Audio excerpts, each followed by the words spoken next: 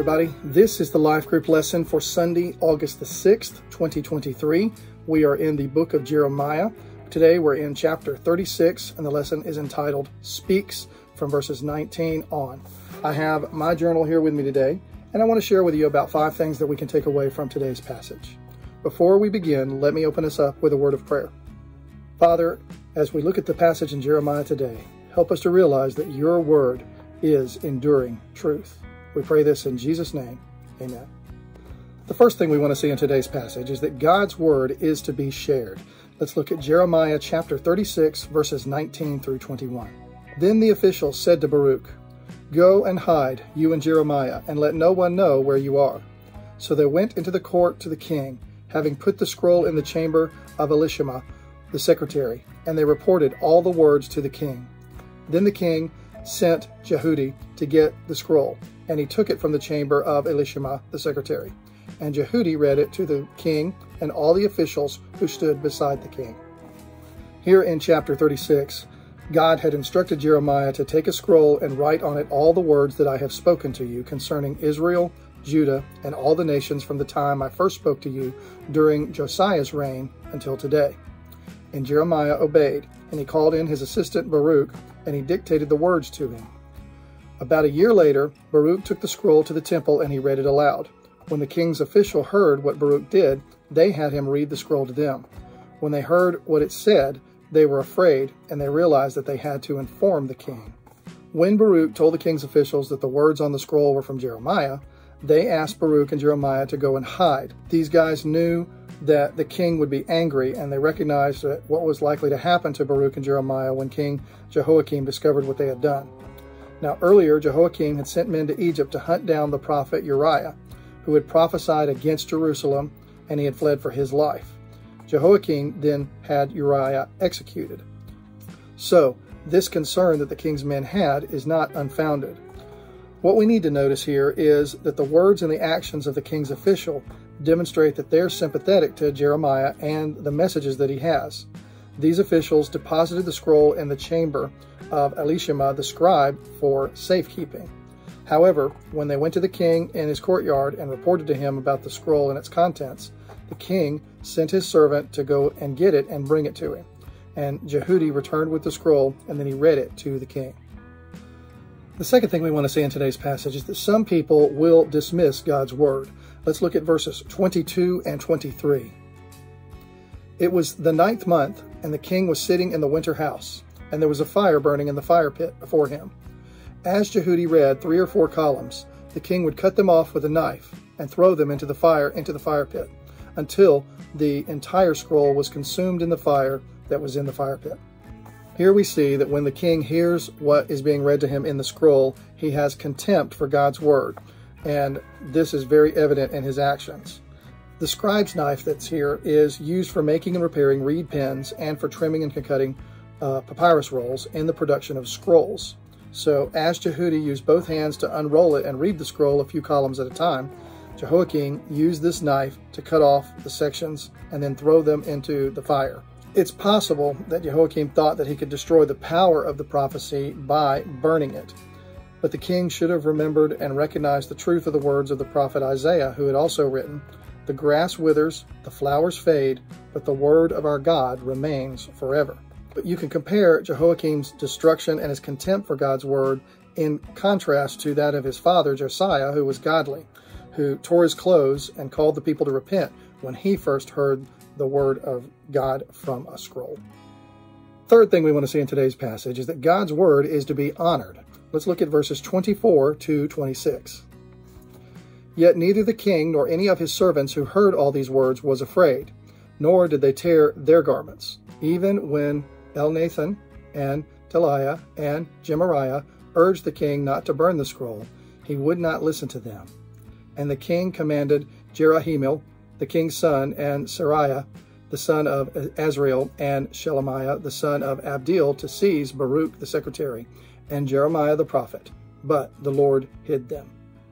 Here we see a contrast between Jehoiakim's response to the reading of the scroll containing God's word and his father Josiah reacting to hearing the word of God read from the scroll. It's drawn out in these verses here.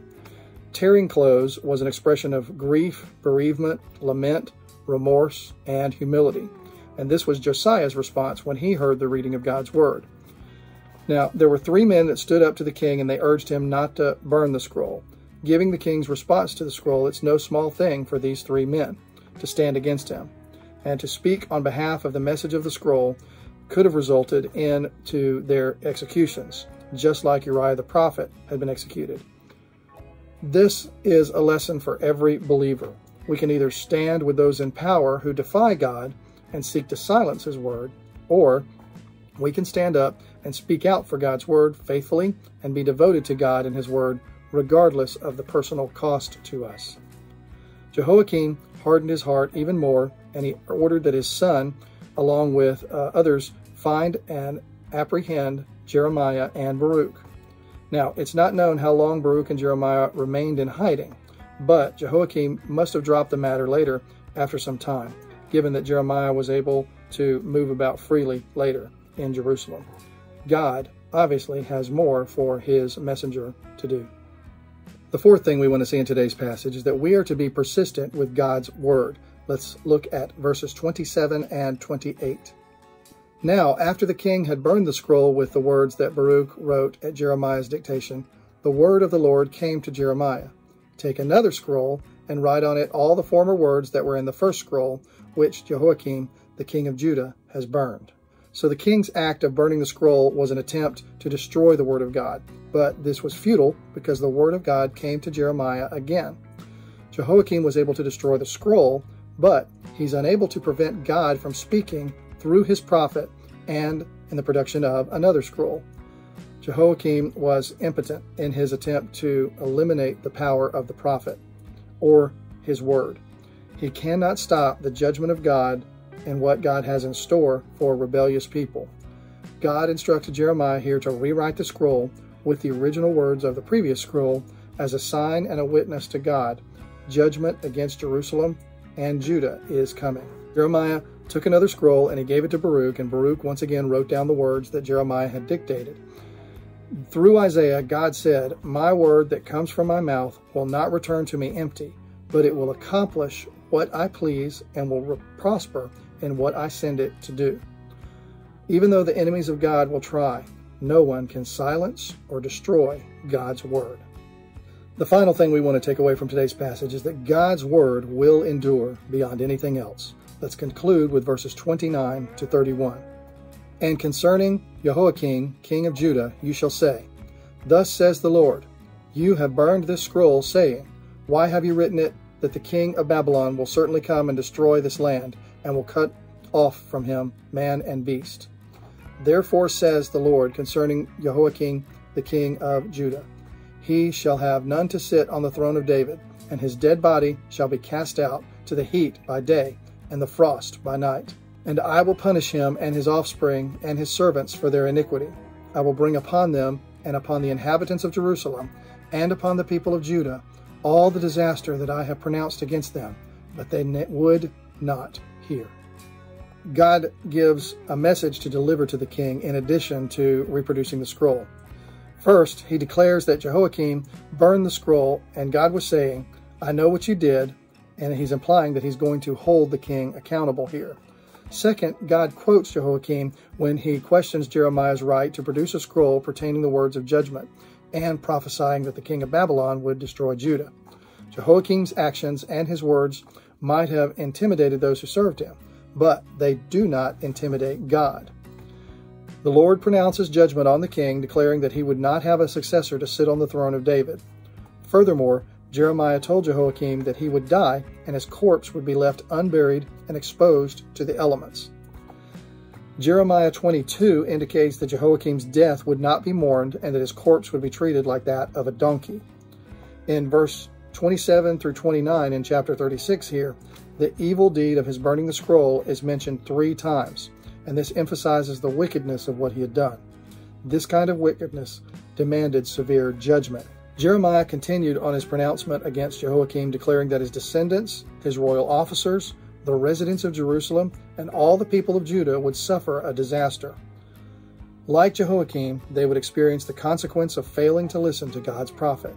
We can learn that people who go along with a godless leader or they fail to stand up for what's right will always still be held accountable by God, and their unwillingness to act according to His Word will incur judgment eventually.